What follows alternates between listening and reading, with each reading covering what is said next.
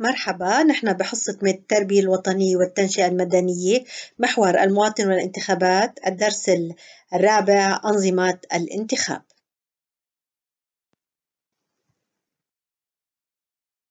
أنظمة الانتخاب. بهيدي الحصة رح نتعرف إلى الأنظمة الانتخابية المعتمدة بالعالم كما رح نطلع على العلاقة بين النظام الانتخابي حجم الدائرة الانتخابية وصحة التمثيل وعدالته. بالإضافة إلى نظام الانتخابات المعتمد اليوم في لبنان. أنظمة الانتخاب ما هو تعريف أنظمة الانتخاب؟ هي الأنظمة يلي على أساسها بتصير عملية الاقتراع وإعلان نتائج الانتخابات. ولنظام الانتخاب أثر مباشر في صحة التمثيل وعدالة التحالفات. أما أنواع أنظمة الانتخاب فهي ثلاث. النظام الأكثري النظام النسبي والنظام المركب أو المختلط. خلينا نحضر سوا فيلم فيديو حول موضوع حول النظام الأكثري. أغلب الأنظمة الانتخابية المعتمدة بالعالم تنقسم لثلاث أقسام رئيسية. الأول النظام الأكثري. الثاني النظام النسبي. والثالث هو مختلط بين الاثنين. النظام الأكثري مثلا يعني بدائرة انتخابية معينة في لايحتين افتراضا لايحة الفريق الأخضر ولايحة الفريق الأحمر. إذا الفريق الأحمر طلع له 51% والأخضر 49% من الأصوات الأحمر بياخد كل المقاعد والخضر ما بيطلع له شيء ولا حتى أجر كرسي. والأحلى إنه مش ضروري تاخد فوق ال 50% من الأصوات. مجرد الليستة تجيب أصوات أكتر من التاني تربح كل المقاعد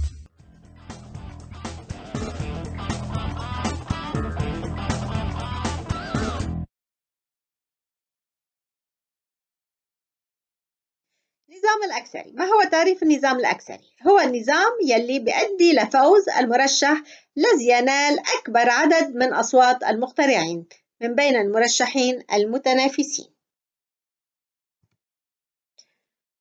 وهذا النظام يعطي الناخب الحق في اختيار مرشح واحد كما في بريطانيا. أما عدة مرشحين كما كان الحال في لبنان سابقا. ملاحظة يمكن اعتماد النظام الأكثري في دورة واحدة أو في دورتين. خلينا نشوف أي متى بنعتمد النظام الأكثري بدورة واحدة وأي متى بنعتمده بدورتين. النظام الأكثري في دورة واحدة عندما يفوز في الانتخابات الذي ينال أكبر عدد من أصوات المقترعين. أما النظام الأكثري الثاني يفوز في الدورة الأولى عندما يفوز بالدورة الأولى المرشح الذي ينال الأكثرية المطلقة من المقترعين يعني آه، نصف المقترعين زيادة واحد على الأقل. في حال لم ينل أي مرشح الأكثرية المطلقة في الدورة الأولى. عندها تجرى دورة ثانية ويفوز فيها من ينال العدد الأكبر من أصوات المقترعين. فإذا بنلجأ للدورة الثانية لما الدورة الأولى ما بتعطي نتائج مطلوبة. مدى أهمية إجراء الدورتين؟ في ملاحظة بدنا ننتبه لها؟ أنه يعتمد النظام الأكثري من دورتين في الدول التي فيها تعددية سياسية وحزبية. نعطي المثل كفرنسا مثلا.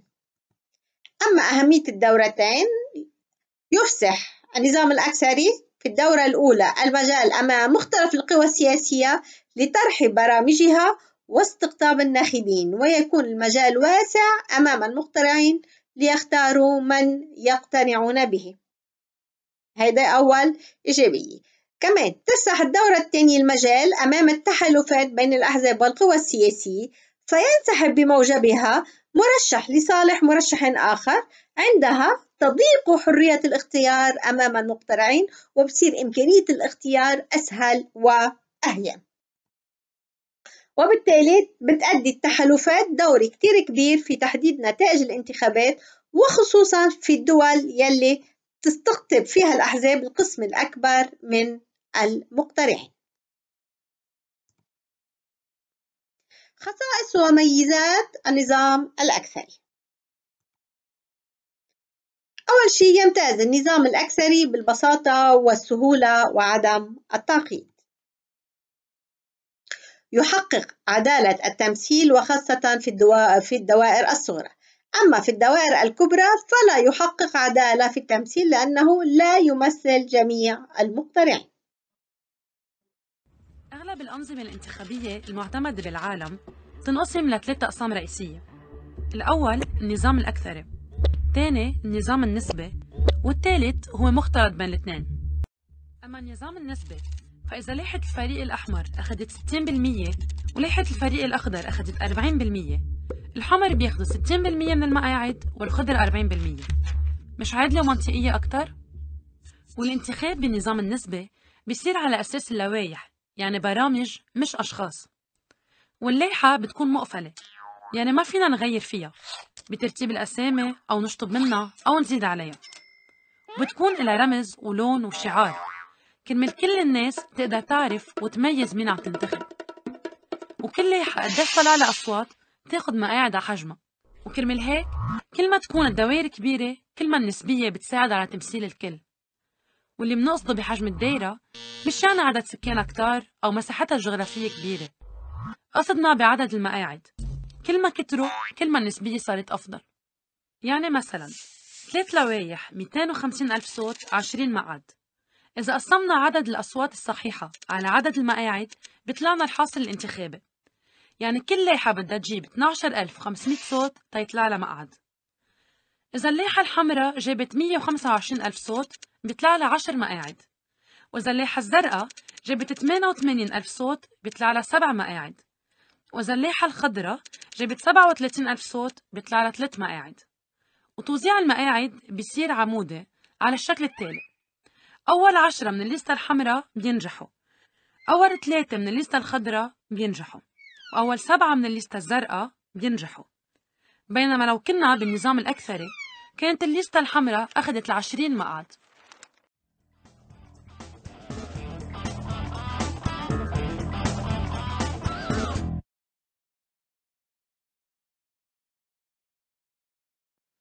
تعريف النظام النسبي. هو نظام يلي بيفسح المجال أمام مختلف القوى السياسية لتتمثل بعدد من المقاعد بوازي عدد المخترعين لمصلحة لوائحها. فإذا كل القوى بتقدر تتمثل بالنظام النسبي اثنين هو النظام يلي بيفترض التصويت باللائحة. وثلاثة هو النظام يلي بيفسح المجال أمام تمثيل مختلف القوى السياسية. بالتالي بيساعد على نشوء الأحزاب ونموها. كيف تتشكل لوائح النظام النسبي؟ تتشكل وفق نوعين في لوائح مقفلة في لوائح مفتوحة تفاضلية. شو يعني لوائح مقفلة؟ عندما يقترع الناخب للائحة كما هي دون أن يعدل في أسماء المرشحين. مفتوحة اللوائح المفتوحة. يضع المخترع أسماء المرشحين وفق التسلسل الذي يريده.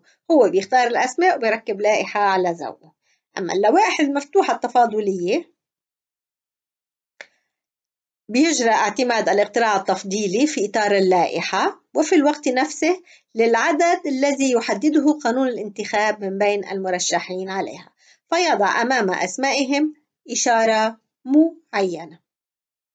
هدول النوعين يلي للوائح. كيف تتوزع المقاعد على اللوائح؟ لنفترض أن عدد المقترعين في الدائرة الانتخابية هن 200 ألف صوت وعدد المقاعد فيها خمسة فيكون الحاصل الانتخابي 200 ألف على خمسة بيساوي 40 ألف ناخب. يعني كل 40 ألف ناخب بيعملوا مقعد انتخابي. إذا جابوا 80 بيطلع لهم نايبين. إذا جابوا 120 بيطلع له 3 نواب. وهكذا تنال كل لائحة عددا من المقاعد يساوي عدد المرات التي تكرر فيها الحاصل الانتخابي. هيدي مرقت معنا بالفيديو يلي شفناه. كيف يتم تعيين الفائز في كل لائحة؟ إذا كانت اللائحة مقفلة فإذا يفوز المرشح يلي وارد اسمه بحسب التسلسل برأس الليستة. أي الاسم الأول ثم الثاني ثم التالي في اللائحة المفتوحة يجري اعتماد تصنيف المرشحين في اللوائح وفقا لإرادة الناخبين فيفوز من جاء اسمه أولا في أكثرية التصنيفات ثم الثاني ثم الثالث. أما في الاقتراع التفضيلي يجري التصويت للائحة ثم ويمنح الصوت التفضيلي في اللائحة ذاتها لأحد المرشحين أو لعدد معين من المرشحين حسب قانون الانتخاب فإذا بالصوت التفضيلي في انتخاب للائحة ومن ضمن اللائحة يتم اختيار صوت أو أصوات آه، التفضيلية حسب قانون الانتخاب شو هي أهمية وخصائص النظام النسبي؟ بحقق نظام النسبة في الدوائر الانتخابية الكبرى تمثيلا أعدل من التمثيل الذي يحققه النظام الأكثري في هذه الدوائر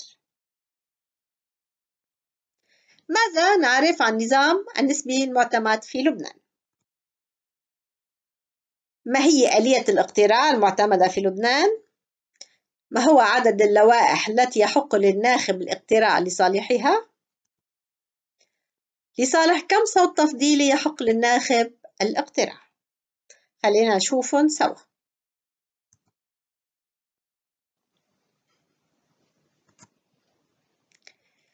يعتمد لبنان النظام النسبي وفقا للاقتراع التفضيلي بصوت واحد يعني ذلك أن لكل ناخب أن يقترع للائحة واحدة من بين اللوائح المتنافسة ويحق له الاقتراع بصوت تفضيلي واحد لمرشح من الدائرة الانتخابية الصغرى من ضمن لائحة يكون قد اختارها فإذا المرشح عليه أن يختار لائحة انتخابية ومن هذه اللائحة الانتخابية عليه أن يختار الصوت التفضيلي. في حال لم يقترع الناخب بصوت تفضيلي يبقى اقتراعه صحيحا ويحتسب صوته فقط للائحة. إذا أدلى بأكثر من صوت تفضيلي ضمن اللائحة فلا يحتسب أي صوت تفضيلي ويحتسب صوت للائحة. فإذا إذا اختار لائحة ومن ضمن اللائحة اختار أكثر من صوت تفضيلي. بلبنان بحق له بصوت واحد تفضيلي. فإذا تلغى الأصوات التفضيلية وبيبقى صوت التصويت للائحة. يلغى, اقتراع الناخب التفضيلي في حال أدلى بصوت تفضيلي للائحة. يعني يلغى اقتراع الناخب التفضيلي في حال أدلى بصوت تفضيلي للائحة أخرى. يعني اختار لائحة ونقص صوت التفضيلي بلائحة أخرى. ما بينحسب له صوت التفضيلي إنما بينحسب فقط صوت اللائحة. أما إذا اقترع الناخب بصوت تفضيلي فقط ضمن لائحة واحدة فيحتسب صوته للائحة وللصوت التفضيلي إذا اختار صوت تفضيلي دون أن يختار لائحة صوت واحد تفضيلي يعتبر وكأنه اختار لائحة وصوت تفضيلي ينحسب له لائحة وصوت تفضيلي. بعد ما شفنا النظام النسبي المعتمد في لبنان رح نكفي بالنظام المختلط أو المركب. شو يعني نظام مختلط أو مركب؟ يعني يجمع هذا النظام بين الدوائر الصغرى والدوائر الكبرى كيف؟ مرات بيعتمد النظام الأكثري في الدوائر الصغرى والمتوسطة ويعتمد النظام النسبي في الدوائر الكبرى أو في الدولة كدائرة انتخابية واحدة فإذا بيعتمد وحدة من الاثنين ساعة بيستعمل هيك ساعة بيستعمل هيك لهسه اعتبرناه نظام مختلط أو مركب شو الغاية من هذا الاعتماد؟ الغاية منه تحقيق تمثيل صحيح وعادل وشامل. رح نعمل عمل تطبيقي سريع صغير صحح الخطأ في العبارات التالية. رح أقريهم وبتمنى لك تكونوا أسرع مني وتعرفوا الإجابة قبل ما أنا أعطيها. إيلين يعتمد لبنان نظام الانتخاب الأكثر حالياً. لبنان اليوم شو بيعتمد؟ أي نظام انتخابي؟ يعتمد لبنان اليوم نظام الانتخاب النسبي حاليا. لنا النظام الأكثري يمتاز بالصعوبة والتعقيد. بشو بيمتاز النظام الأكثري؟ بيمتاز بالسهولة وعدم التعقيد.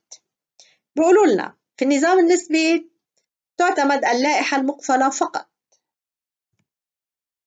في النظام النسبي تعتمد اللائحة المقفلة والمفتوحة أيضا. فإذا انطلاقا من هذا التمرين كان لازم نقيس شوي مكتسباتنا بالدرس.